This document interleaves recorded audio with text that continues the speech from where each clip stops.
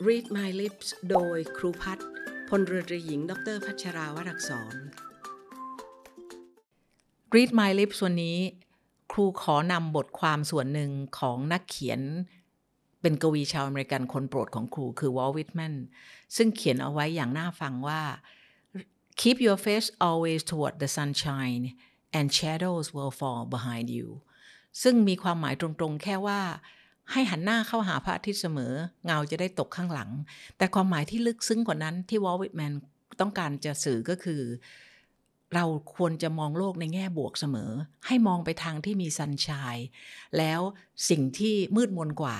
สิ่งที่เป็นเรื่องร้ายๆ ก็จะอยู่ข้างหลังนะคะ ก็คือเป็นเรื่องของการบอกให้เราใช้ชีวิตอย่างมีทัศนคติที่ดีนั่นเองค่ะ มีความสุขในทุกๆวันนะคะ ติดตาม Read My Lips ฟังเรื่องดีๆ ต่อชีวิตได้ที่นี่ Navy Time เรื่องดีๆ ประเทศไทยยามเช้า